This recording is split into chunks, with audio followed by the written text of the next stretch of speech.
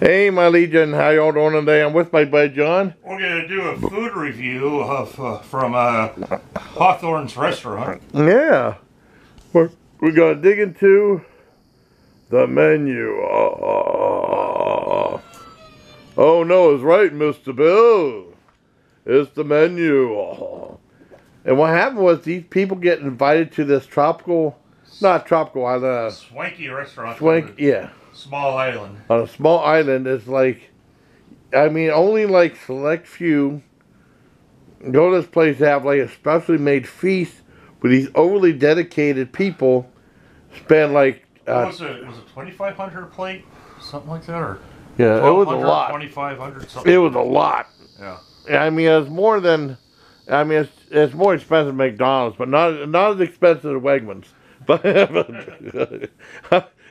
and then, um, you know, they're, I mean, the, and these people are like like almost cultists. They're super dedicated, highly motivated, super dedicated, super uh, devoted to this chef who creates these Well, his staff. his staff. Yes. It's what you kind of pivoted where they're Yeah. the customers. Yeah. not the customers. wealthy people. Yeah, wealthy people. Are like it's almost like one of these. You ever see these like food groups that have secret societies and stuff? Yeah. People are really into fancy foods and stuff. But yeah, the staff is dedicated to the chef. Oh yeah, I mean without a doubt. I mean it's like, um, and you know as the night goes on, it gets more and more bizarre.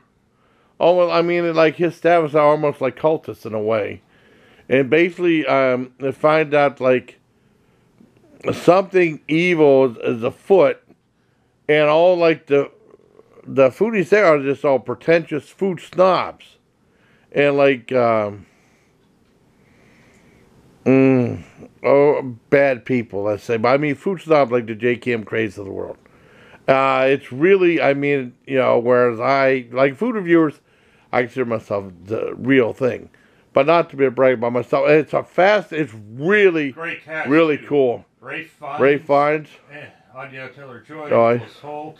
Uh. Judith Light's in it. Yeah, Judith Light, she's still hot. Uh, John Leguizamo. John Leguizamo's in it.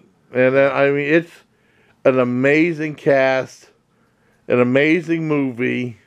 I mean, it's also dark humor, too. I mean, but it's really, I mean, they really did a really good job. And they said, like, some of the, um, the sous chefs or the cast, I mean, that, I mean, that his, well, they're cast members, too. I mean, the cooking and stuff like that.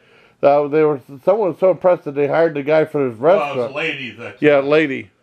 Uh, you know, the one that's like the kind of the main assistant. Yeah. But he said everybody that was a staff member was trained exactly on how to prepare the food as if they're.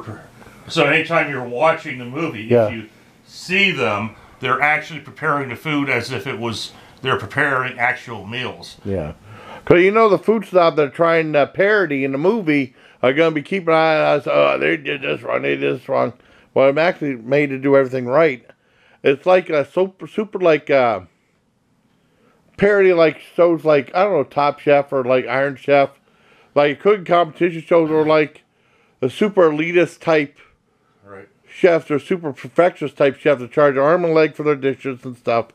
I mean, it, but it's a brilliant, brilliant movie, and I really Satire, loved it. word. Oh, it's great sa- satire, fantastic satire. Um, I thought it was written by a couple of people. I guess they worked on stuff for the Onion. yeah for the onion stuff. I mean, it's brilliant. I was kind of like the Dark Side of Chef, the Jon Favreau picture, which I saw in 2014, which was brilliant too. Right.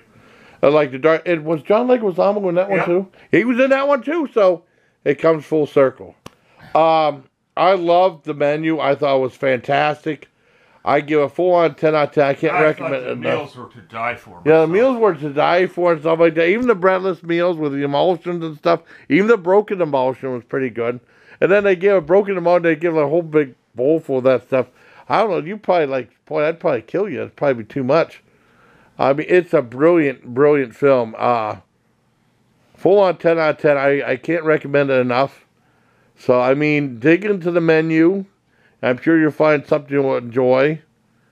And, um, and it's really funny too. I mean, it really. I mean, it's just.